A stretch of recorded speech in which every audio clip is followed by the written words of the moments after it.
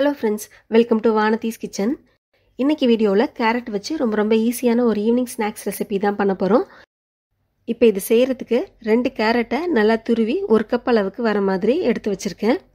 இது நம்ம இப்போ ஒரு பவுலுக்கு மாற்றிக்கலாம் இது கூடவே நல்லா பொடியாக வெட்டின பெரிய வெங்காயம் ஒன்று சேர்த்துக்கோங்க.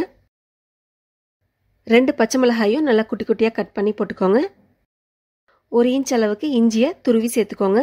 இஞ்சி கண்டிப்பாக சேர்த்துக்கோங்க. அப்போ தான் டேஸ்ட் ரொம்ப நல்லாயிருக்கும் இது கூடவே ஒரு அரை ஸ்பூன் சில்லி ஃப்ளேக்ஸ் சேர்த்துக்கலாம். சில்லி ஃப்ளேக்ஸ்க்கு பதில் ஒரு அரை ஸ்பூன் மிளகாய் தூள் சேர்க்கறதுனாலும் சேர்த்துக்கோங்க. அப்புறம் கொஞ்சமாக கருவேப்பிலையும் கொத்தமல்லி இலையும் நல்லா பொடியாக நறுக்கி சேர்த்துக்கோங்க.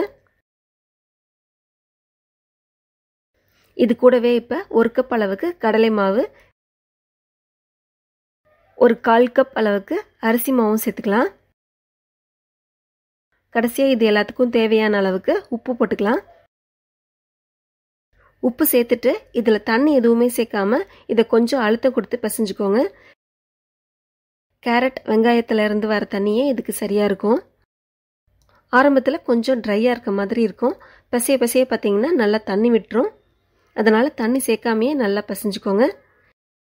இப்போ இதை இந்த அளவுக்கு பசைஞ்சிட்டு இதில் இருந்து கொஞ்சமாக மாவு எடுத்து சின்ன சின்ன உருண்டையாக உருட்டிக்கோங்க. எல்லா மாவையும் இதே மாதிரி உருட்டிட்டு நம்ம இதை எண்ணெயில் போட்டு எடுத்துடலாம். ஒரு கடாயில் எண்ணெய் நல்லா சூடானதும் நம்ம உருட்டி வச்சுருந்த எல்லாத்தையும் இதில் ஒன்று ஒன்றா போட்டுக்கோங்க.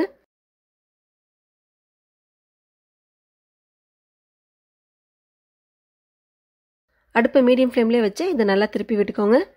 ஹை ஃப்ளேமில் வச்சுட்டோம் அப்படின்னா வெளியில் சீக்கிரம் செவந்துடும் அப்புறம் உள்ள மாவாக இருக்கும். இது இந்த அளவுக்கு நல்ல கலர் மாறின உடனே நம்ம இதை எண்ணெயிலேருந்து எடுத்துடலாம்.